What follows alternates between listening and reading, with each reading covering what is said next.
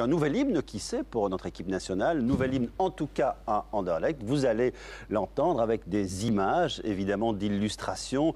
Pas tout à fait le son d'ambiance, hein, mais euh, on voulait vous faire découvrir cet hymne si vous ne l'avez pas entendu. C'est parti, in Purple We Trust.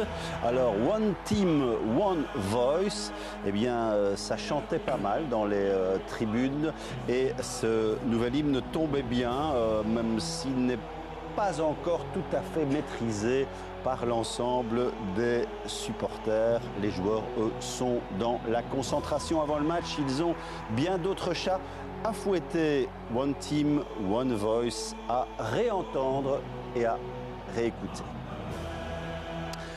Benjamin, c'est l'heure du buzzball Oui, incroyable, vous m'offrez une transition magnifique, c'était le Mais c'est pas vrai. oui, c'était pas prévu en plus.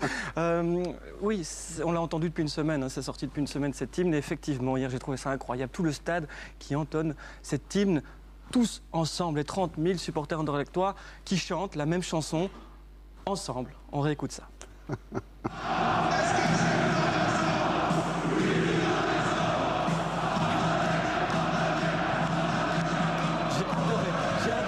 hymne, c'est moderne, les paroles sont, sont percutantes. euh, Et donc on remet le grand Jojo après, oui, c'est ça s'appelle effectivement, je vois que vous avez bien bossé, le grand Jojo. Euh, il est au chômage depuis quelques années, depuis que les Belges ne gagnent plus. Donc euh, voilà, c'est pas mal. C'est vraiment la seule chanson que le stade a, a chantée. hein. Michel, vous avez essayé de vendre l'hymne. Pour l'instant, c'est pas gagné. Alors, l'écharpe, bonne idée, super idée. L'écharpe, regardez, donc c'était bien fait. D'un côté, hein, euh, One Voice. Euh, One Team, One Voice, et de l'autre côté les paroles de la chanson une équipe, une pour la chanter en même temps. Mais les paroles sont à l'envers.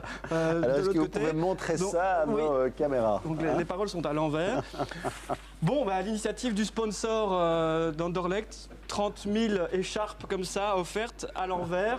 Après, on s'étonne que les banques, parce que c'est un- c'est une banque, hein, soit en faillite. Mais oui, si on dépense déjà 30 000 écharpes comme ça pour les faire à l'envers, c'est pas une super idée, je trouve. Mais bon, bon, voilà.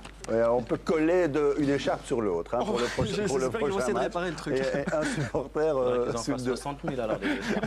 Il faut en faire simplement un peu plus, euh, Kalilou. Bon, sinon, euh, ça fait deux semaines